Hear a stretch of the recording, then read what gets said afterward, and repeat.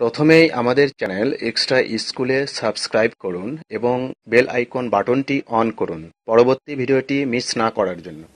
আসসালামু আলাইকুম। এক্সট্রা স্কুলে তোমাদের সবাইকে স্বাগতম। আশা করি তোমরা সবাই অনেক ভালো আছো।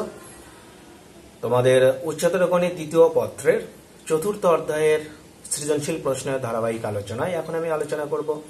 তিন নম্বর প্রশ্নটি। আর এই তিন নম্বর প্রশ্নটি হলো তোমাদের যশোর বোর্ড দুই হাজার উনিশ সালের প্রশ্ন। খুব গুরুত্বপূর্ণ একটা প্রশ্ন। এই প্রশ্নের উদ্দীপকে দুইটা সমীকরণ দেওয়া আছে, তোমরা খেয়াল করো। এখানে প্রথম সমীকরণে বলা হলো যে P Q not equal to zero এর মূলদয় ইউ এবং ভি আরও একটা সমীকরণ তোমরা দেখতে পাচ্ছ, যার একটা মূল হলো জটিল মূল, সেটা হলো টু মাইনাস আই তো কতে যে কাজটি করতে হবে, তোমাদের এখানে একটা সমীকরণ দেওয়া আছে। এর মূলদয় বাস্তব এবং যদি সমান হয় এম এর মান বের করতে হবে। খতে বলা হলো যে দেখাও যে Q X square plus P X plus one equal to zero এর মূলদয় ওয়ান বাই ইউ এবং ওয়ান বাই ভি গতে বলা হলো যে উদ্দীপকের দ্বিতীয় সমীকরণের বাস্তব মূল এবং ওয়ান বাই ফোর মূল বিশিষ্ট একটি দ্বিঘাত সমীকরণ নির্ণয় করো। তো যাই হোক, আমরা শুরুতেই পথে আমরা যে কাজটি করব, সেটা হলো আমরা এই সমীকরণ যেটা দেওয়া আছে সেটা আমরা লিখে নেব। লিখে নেওয়ার পর এই সমীকরণের আমরা কি করব? আগে নিশ্চয়টা বের করে নেব। কারণ তোমরা জানো যে কোনো একটা সমীকরণের নিশ্চয়কের মান যদি শূন্য হয়ে যায়, তাহলে ওই সমীকরণের মূলদয় বাস্তব এবং সমান হয়। আর প্রশ্নে, যেহেতু আমাদের সমীকরণের মূল দয়ের প্রকৃতি এখানে দেওয়াই আছে, সেটা হলো বাস্তব এবং সমান তো সেক্ষেত্রে আমরা যে কাজটি করব, আগে এই সমীকরণের নিশ্চয়টা আগে বের করে নেব। আর নিশ্চয় যদি আমরা বের করে নিতে পারি, তাহলে প্রশ্নের মতে ওই নিশ্চয় ইকুয়াল টু আমরা জিরো লিখতে পারব। কারণ আমরা জানি যে সমীকরণের মূলদয় বাস্তব এবং সমান হলে নিশ্চয়কের মান শূন্য হয়ে যায়। তো সেই কাজটি আমরা করব, দেখো। আমরা তাহলে প্রদত্ত সমীকরণ লিখে নেব। এখানে আমরা নিশ্চয়কটা বের করে নেব। তোমরা জানো যে নিশ্চয়কের সূত্র হলো B square minus four AC তাহলে এখানে বি মানে হলো মাইনাস টু এম এ মানে হলো এখানে ওয়ান এক্স স্কোয়ারের সঙ্গে সহগ হিসাবে, আর সি মানে হলো এইট এম মাইনাস ফিফটিন পুরোটাই হলো আমাদের সি তো আমরা তাহলে B square minus four A C লিখলাম। এখানে হিসাব করলে আমরা পাবো four M square minus thirty two M plus sixty প্রশ্নের মতো আমরা লিখতে পারি তাহলে এই নিশ্চয়কের মান ইকুয়াল টু জিরো তো সেক্ষেত্রে আমরা এখানে ফোর কমন নিতে পারি। ফোর কমন নিলে আমাদের M square minus eight M plus fifteen equal to zero হবে। তো এখানে আমরা তাহলে M square minus eight M plus fifteen equal to zero লিখব। তো এখানে আমরা মিডল টার্ম করলে আমরা দুইটা উৎপাদক পাবো। একটা পাবো হলো এম মাইনাস ফাইভ আর একটা পাবো এম মাইনাস থ্রি আমরা তাহলে লিখতে পারি যে M minus five into M minus three equal to zero তাহলে হয় M minus five equal to zero অথবা M minus three equal to zero সেখান থেকে আমরা পাবো এম এর মান একটা থ্রি আর একটা ফাইভ এটাই হলো তোমাদের এম এর মান। প্রশ্নে যেহেতু তোমাদের এম এর মান বের করতে বলা হয়, সেক্ষেত্রে আমরা পেয়ে গেলাম। এবার আমরা খতে যাব। খতে তাহলে আমাদের কি বলা আছে? আমরা প্রশ্নটা একটু দেখে নেব। এবার খ নিয়ে আমি আলোচনা করব। দেখো খতে বলা হলো যে দেখাও যে Q X square plus P X plus one equal to zero এর মূলদায় ওয়ান বাই ইউ এবং ওয়ান বাই ভি আমরা তাহলে শুরুতেই উদ্দীপকের যে সমীকরণ দেওয়া আছে X square plus P X plus Q equal to zero এটা আমরা লিখে নেব, দেওয়া আছে এটা লিখে নেব, আর এর মূল আমরা দুইটা বলব যে একটা হলো ইউ আর একটা হলো ভি যেহেতু সমীকরণে দুইটা মূল দেওয়া আছে, সেক্ষেত্রে আমরা সমীকরণের মূলদয়ের যোগফল বের করে নেব এবং মূলদয়ের গুণফলও বের করে নেব। তো তাহলে দেখো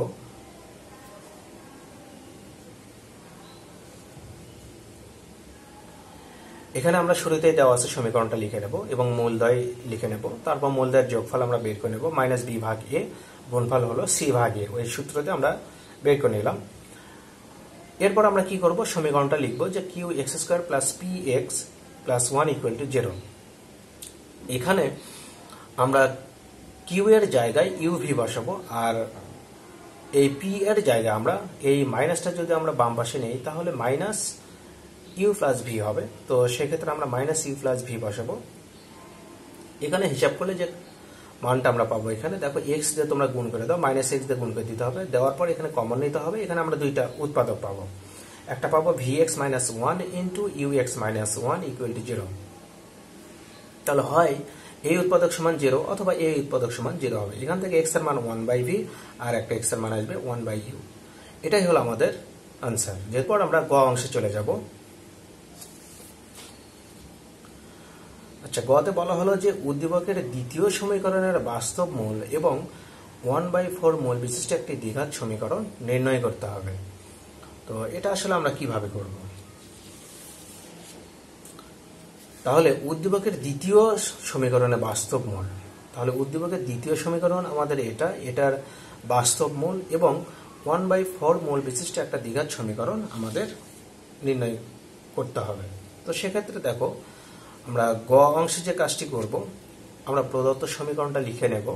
তার একটা মূল যেহেতু জটিল মূল, সেটা হলো টু মাইনাস আই তো তোমরা জানো যে জটিল মূলের ক্ষেত্রে তুমি অপর মূলটি লিখতে পারবে টু প্লাস আই এখানে যদি মাইনাস হয়, তাহলে এখানে প্লাস হবে। যদি এখানে প্লাস হতো, তাহলে এখানে তোমরা মাইনাস নিতে। এখন নির্ণয় সমীকরণের ক্ষেত্রে তোমরা কি লিখবে?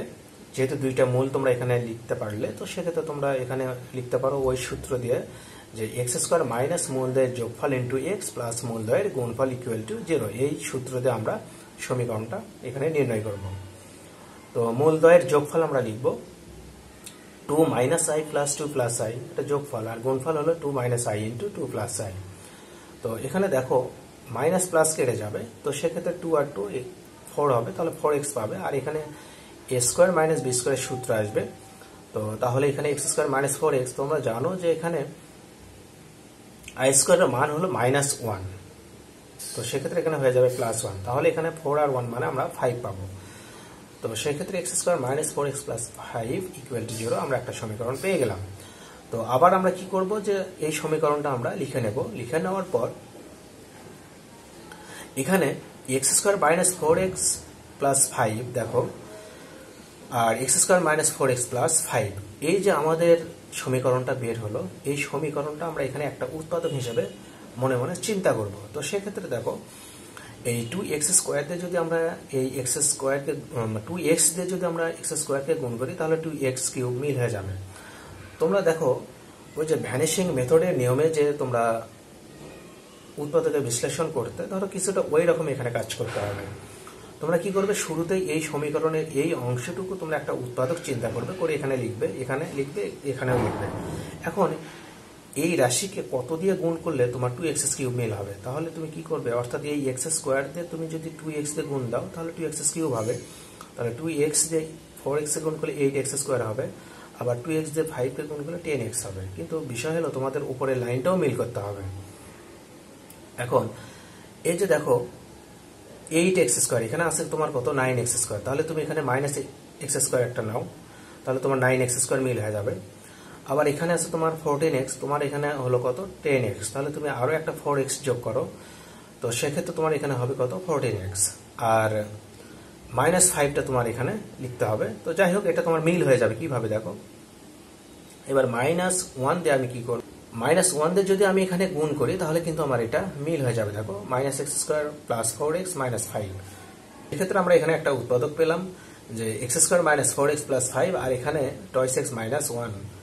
তো আমরা তাহলে লিখব যে twice X minus one equal to zero. কারণ এখানে আমরা একটা মূল বের করে নেব, সেটা হলো X equal to one by two.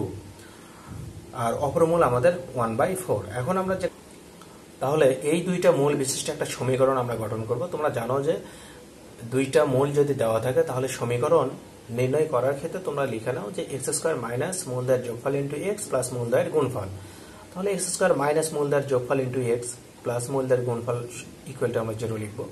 তাহলে এখানে এক্স স্কোয়ার মাইনাস, এখানে লসেও করব। আর এখানে আমরা গুণ করলে ওয়ান বাই এইট পাবো। তো এখানে আমরা থ্রি এক্স বাই ফোর পাবো minus three X by four আবার যদি এখানে লসেও করো, তাহলে eight X square minus six X plus one হবে।